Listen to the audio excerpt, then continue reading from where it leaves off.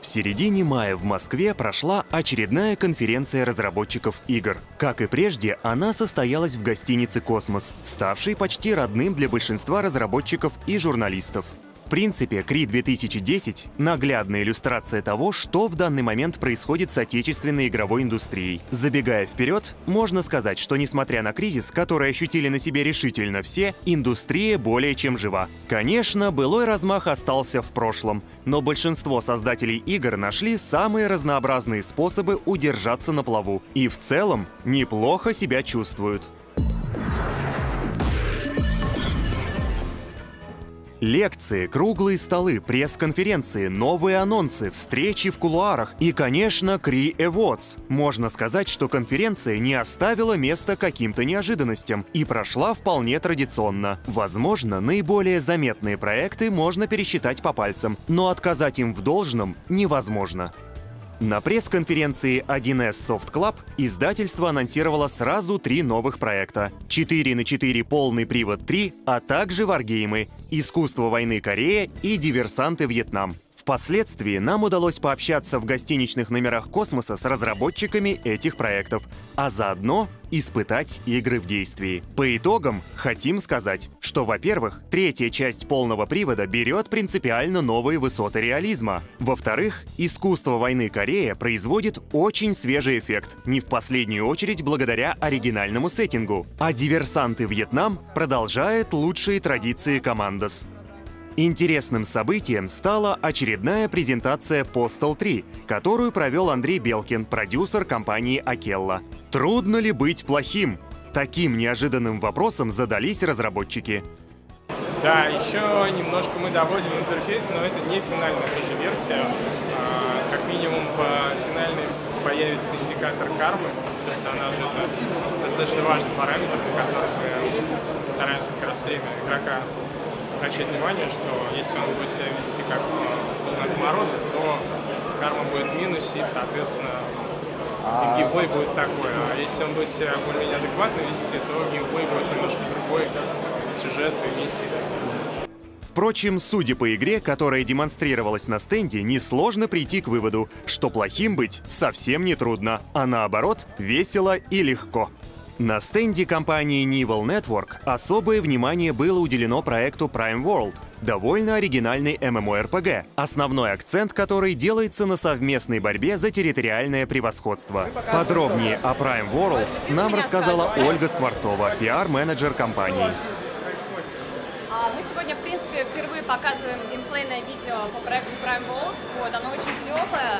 А, его уже очень многие увидели, сказали, что мы молодцы большие, что а, проект уже вот сейчас а, на первом этапе очень классный. Приятным сюрпризом стал анонс King's Bounty в новой, но желанной ипостаси. Совсем скоро знаменитая вселенная предстанет перед нами в онлайн-формате. Да-да, King's Bounty Online становится MMORPG. Любопытными подробностями об этом проекте поделился небезызвестный Андрей Крэнк Кузьмин, на студию которого возложена ответственность за разработку игры.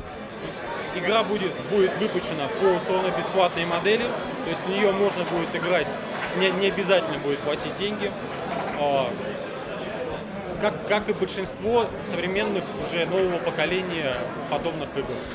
Это самая успешная бизнес-модель на сегодня.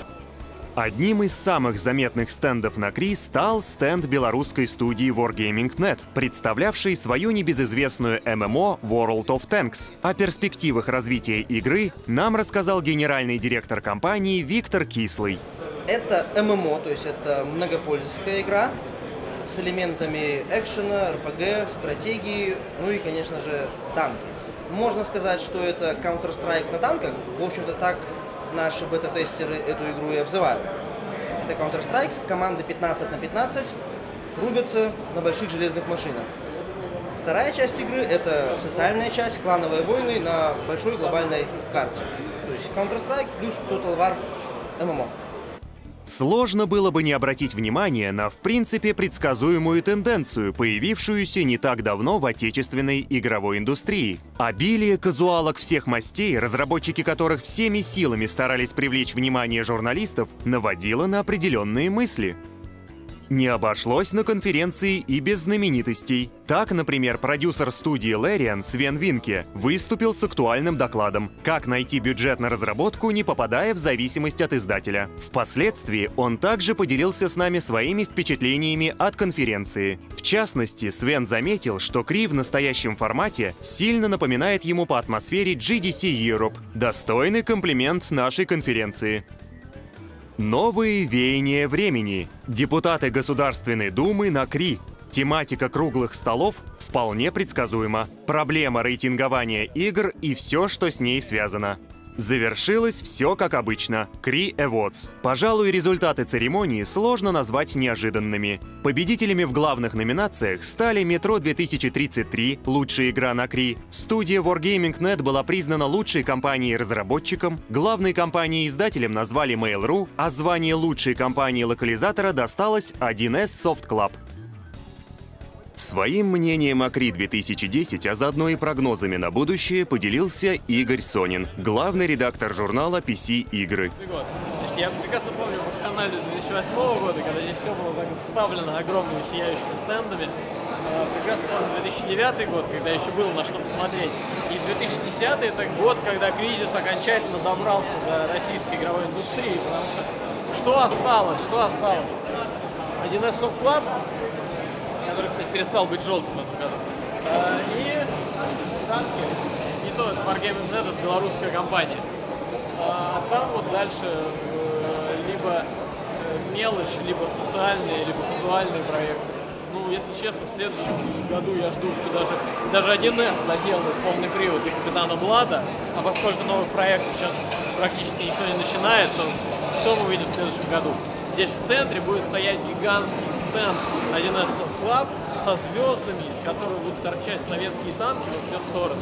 Они будут презентовать там свои 6 серий симуляторов, и, а вокруг на, на стульчиках будут ютиться вот эти социально-казуальные компании. Вот такая апокалиптическая картина, такое у меня видение будущего нашей индустрии.